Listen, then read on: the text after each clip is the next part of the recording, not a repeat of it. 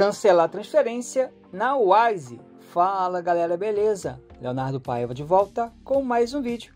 E nesse vídeo eu mostro como você pode cancelar uma transferência que você agendou aqui na Wise. Antes disso, te convido a se inscrever no canal. Aqui eu faço tutoriais diversos, sempre para facilitar você. Então galera, aqui no canal já tem mais vídeos da Wise mostrando todo o passo a passo para a criação de conta e também outros vídeos que podem ajudar você. Se tiver dúvidas, eu vou deixar agora no card. E nesse vídeo você aprende a cancelar uma transferência que você agendou. Então o processo é bem tranquilo, galera. Já estou aqui na minha conta da Wise e você vai clicar aqui embaixo em gerenciar. Gerenciar, você vai clicar aqui na segunda opção, transferências agendadas.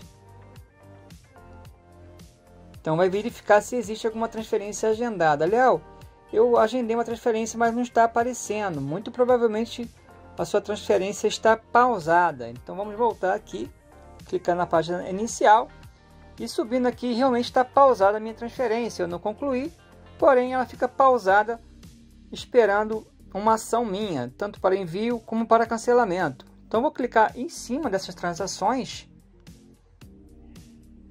e eu vou cancelar essa transferência. Eu podia continuar, mas eu quero cancelar. Vou clicar aqui embaixo para cancelar esta transferência.